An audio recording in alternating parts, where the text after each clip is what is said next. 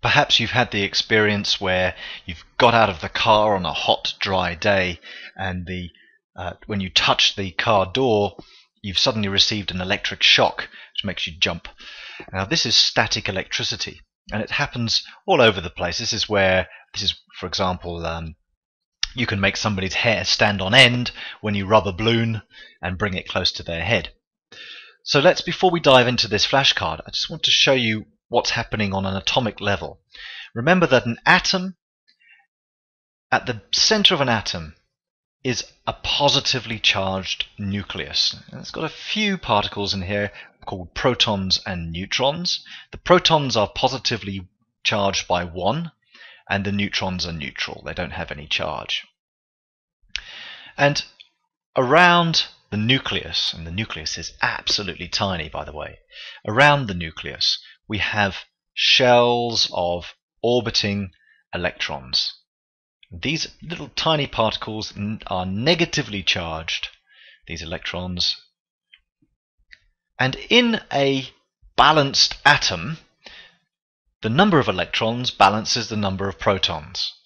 We've got 3 plus three positive charges in the nucleus, and around it, balancing that those three positive charges, we have three negative charges.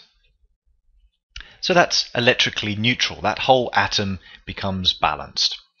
So friction, not only can friction turn kinetic energy into heat energy, that's its main purpose, slows things down and creates heat through rubbing. But friction also can move electrons from one atom to another, from one material to another. And it's this friction which can cause imbalances in charges between atoms and materials. So, for example, if we go to uh, our flashcard now and we have a balloon rubbing Flossie the sheep, now the electrons which are around the balloon's uh, atoms could get rubbed off and transfer to Flossie the sheep. So we could get negative particles being transferred to Flossie. Now that leaves behind the positively charged particles, which are the nuclei of the atoms. Now they can't move, they're just stuck in position, but they're left behind, and because they're imbalanced, now they've lost their electrons, we have charged the balloon and made it positive, and Flossie the sheep has become negative. Now, it could be that it's the opposite way around. It could be that the electrons move from the sheep to the balloon, but the principle is there. So, let's take a look at this flashcard. When some electrically insulating materials, and that means that the electrons find it difficult to move freely through the material, that's what insulating means. When they're rubbed together, friction our friend friction makes negatively charged electrons move from one material to the other.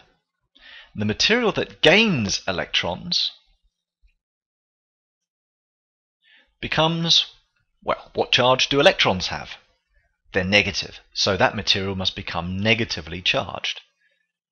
Negatively charged, and the material that loses the electrons,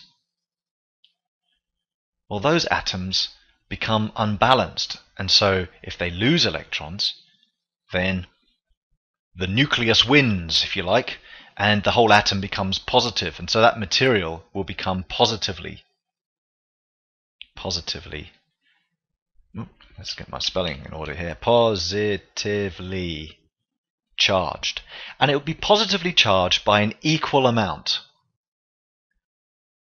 So the same amount that uh, the material that gains the electrons becoming negative, the other material loses electrons and becomes positive by an equal amount.